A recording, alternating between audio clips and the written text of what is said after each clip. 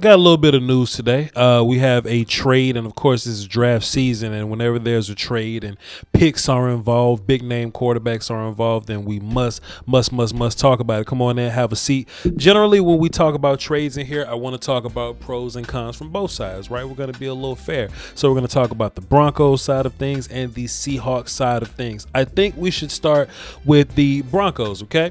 If anything, you know, the every year whoever wins the, the super bowl they get to dictate how things are going to go. They get to dictate what plan is the easiest route to the super bowl right? So if you win the super bowl with a whack quarterback and a good team and a fantastic defense that's the blueprint that everybody wants to do. If you win it with all offense a terrible defense and an old man and quarterback then that's the vibe also.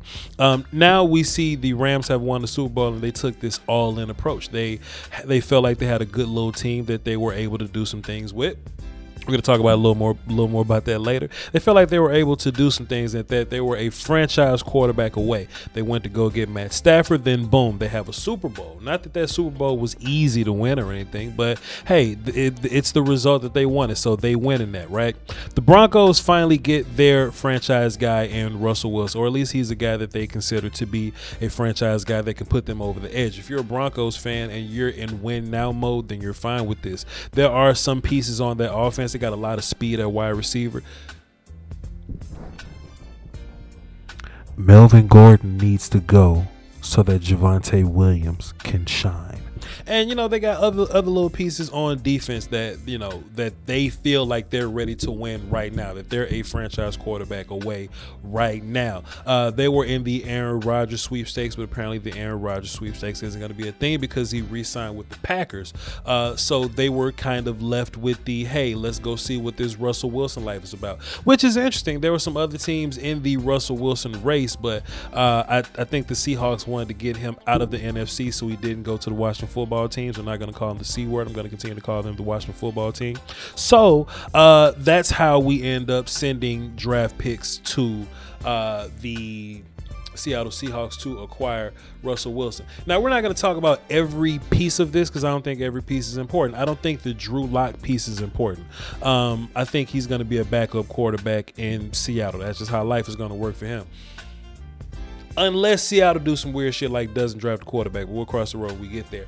Uh, we're not going to talk about Shelby Harris. He's a 30 year old defensive lineman. Sure, whatever. Let him do what he's going to do. But the two first round picks, two second round picks, a fifth. Um, the Broncos are going to get a fourth back if that matters to you. But then I also think Noah Fant is a very important piece of this puzzle. We'll talk about that more on the Seahawks side. But that's what the Broncos gave up two first, two seconds um, a young tight end and a couple of players. So if you're a Broncos fan, then you probably, you know, you feel one of two ways about this. If you feel like you're in the Super Bowl window, then fine, you're good to go. Uh, and we're gonna get Russell Wilson straight to the top. I, I, think I think some some teams or some fan bases feel like if they win a Super Bowl, they can be ungrateful for the next ten years. I feel you, but I'm a Cowboys fan, so I hear a lot about what happens in the Eagles world. You can win a Super Bowl and you can still be ungrateful and complaining within the next three years. So I don't think that necessarily gets you off the hook in the future. But um, you teams, if if teams could win a Super Bowl and just put everything on the table, mortgage their franchise, be bad for a couple of years, I think they'll do it. Um, let's see, let's see if they're win now mode. I'm just looking at my notes. I normally don't do notes, but this ain't a cowboy production, so we're just talking about things, right? Um, so I uh, got into a couple exchanges on Twitter. I didn't want well, not, not what I what I wanted or did not want because I'm a Cowboys fan. I don't care what happens to these teams, but um, what I, I just like draft picks, right? So I just didn't like the idea that the Broncos gave up so many draft picks to get Russell Wilson, and you know I, I just think a little differently about Russell Wilson. I think Russell Wilson had a pretty good offense over there in Seattle, and they didn't do much with it in, in the first place. But that's just my own personal thoughts. This has nothing to do with the uh, with the work here, but um you know, I, I, got into a couple exchanges. I just wasn't feeling the amount of compensation given up for Russell Wilson. I feel like he probably could have got a quarterback, you know, for less, but whatever. It's not, like I said, it's not about me.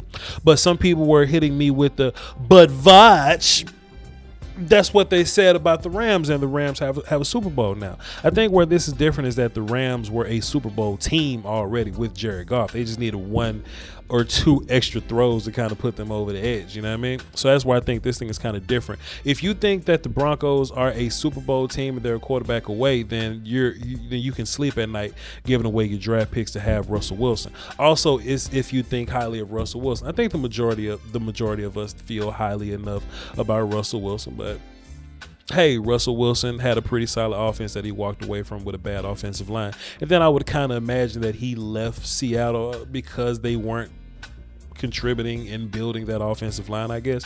I don't know, but if you're the Broncos, you gave up your picks, you can't draft offensive line any anymore neither. So um, that may be something that you have to uh, that you have to address in free agency because you know you'll be drafting with you know third round picks and on, but is what it is. On the Seattle Seahawks side of things, I consider the Seahawks a team that are rebuilding. Yeah, they just had Russell Wilson. They don't have a franchise franchise quarterback anymore, but their franchise quarterback and their team that they feel solid about got them to 7 and 10. You understand? So with that being said, does that make you a contending team or does that make you a team um, that's you know, rebuilding, right? If we have Aaron Rodgers getting brand new money, I would imagine the only way that can make Russell stay is if Russell got brand new money. So ask yourself, is Russell worth that brand new money to you in you know, comparison to where this roster is right now. If you think that this Seahawks roster can win your Super Bowl right now, then pay, um, you know, Russell Wilson his two hundred million dollars over four or two hundred and one million dollars because every next contract got to be better. Pay him his two hundred and one million dollars uh, for four years, and Russell Wilson go take it to a Super Bowl. If you don't think Russell Wilson can do that for you, then you need to break something up and try to rebuild your squad. That's what I think the Seattle Seahawks are doing right now, and I kind of like what they're doing here if they do things properly properly. Um, I see some people on the internet saying shit that I can't stand. They say things like, "Well, but but Voch, the Seahawks can't draft, so what are they going to do with these draft picks anyway?" Well, it's not the draft pick's fault if you pick them incorrectly. It's your fault. So if the Seahawks can't can't draft, that's not an acquiring a draft pick problem. That's a I need to fire my GM or my player personnel department problem. So that's y'all's little issue for you to work on. Um, but just kind of in general, I like the idea that hey, we're the Seahawks, we're rebuilding now. We're not gonna have to pay Russell this big big money let's figure out what we're going to do moving forward. Now, the Seahawks could have had uh, two picks in the top 10, but they gave up one of those picks uh, for Jamal Adams, which kind of leads me back to this whole if you're a Cowboy fan watching now, you see why I just really don't like trading picks for players. This would have been a fantastic time. If you're rebuilding, let me just pull up Tankathon real quick. If you're rebuilding, this would have been a fantastic time to have two picks in the top 10. The Seahawks would have had pick number nine and pick number 10 back to back. This would have been a fantastic time to rebuild your roster, but you spent one of those picks for Jamal Adams and you ended up paying him, but that's y'all business. It ain't on me. So what the Seahawks have now, it's gonna feel like they didn't get a whole bunch because they didn't have a first round pick to start with, you know. And part of that, I got a new first round pick feel comes from hey i got a new first round pick to go with my current first round pick.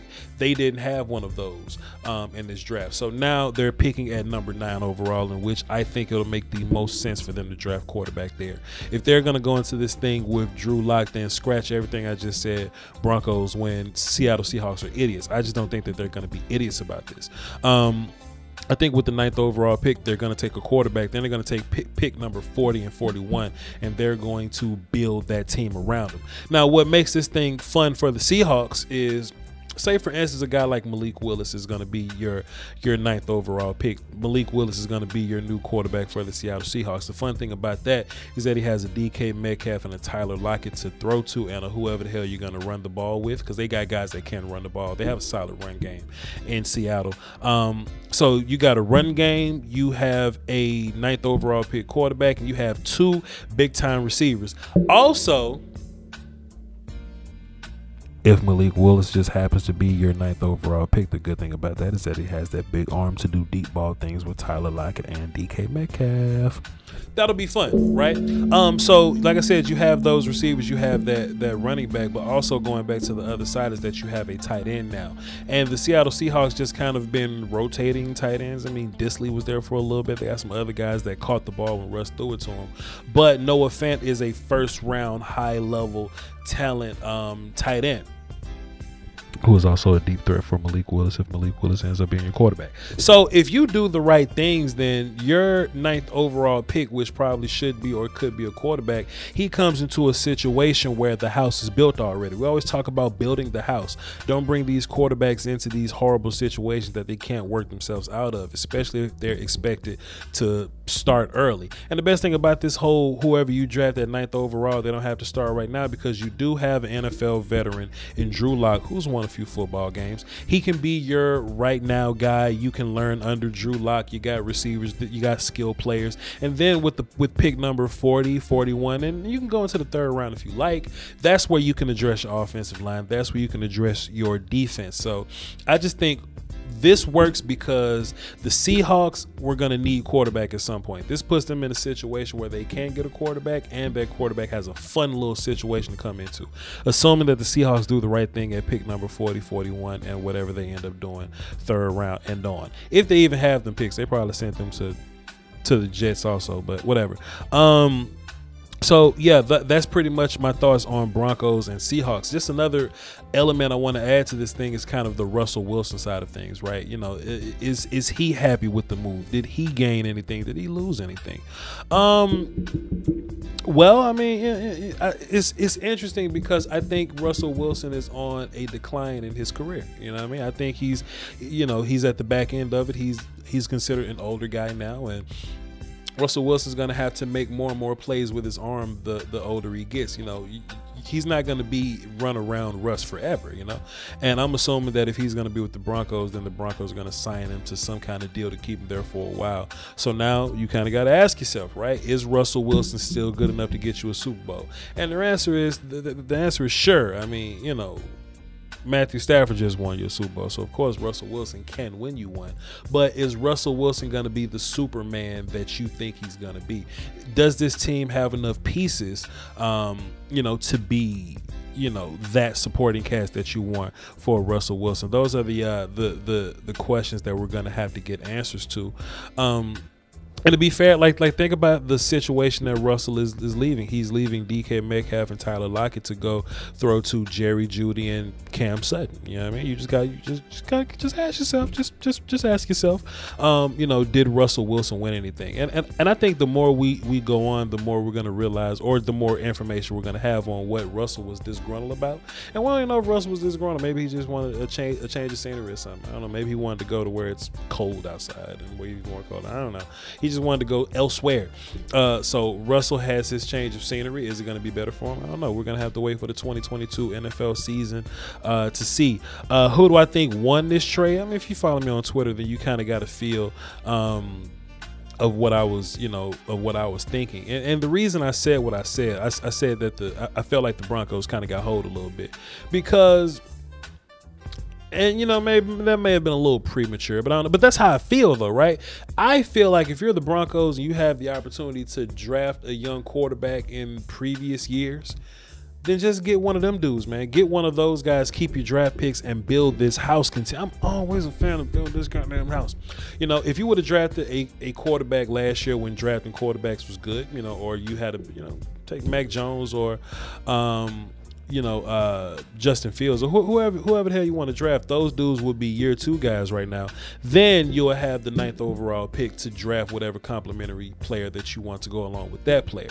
Um, I think sometimes teams are afraid to really restart with these young guys, which is fine. I think young guys play bad because they, their house aren't built. Uh, their houses aren't built, but if you feel like the Broncos as a team is good enough to win a Super Bowl with Russell Wilson, then I guess you would assume that your house is good enough to, is good enough to be built. I don't know. Maybe I'm just a fan of draft picks. I don't know. Who do I think won? I just think if the Seahawks are really going to rebuild this thing, I think they can rebuild it quickly with the money that they're potentially saving on the Russell Wilson thing. Drafting a quarterback at nine, you got a pretty good house for that quarterback. Then you got the rest of the picks this year to finally draft some damn offensive linemen and you know do some defensive things with whatever you want to do with defense. And the defense wasn't terrible, um, but you can just you know add pieces to that however you feel fit. All right, that's all I got for y'all today, man. This is my thoughts on the Broncos Seahawks trade. I'm gonna probably do a film session coming up, a, a, Dallas Cowboys film session talking about how this affects our Dallas Cowboys or my Dallas Cowboys. I don't know. Y'all follow me on Twitter, V O C H L O N B A R D I. Y'all like this? Go follow me on Twitter. All that good stuff. Um, did I say follow me on Twitter? I just double said follow me on Twitter. Whatever. Patreon.com slash Voch Lombardi where we watch draft film. And y'all hold it down for the Doski Wolves and the Peasky Whiskey. Until next time, y'all. Mm. Thank you.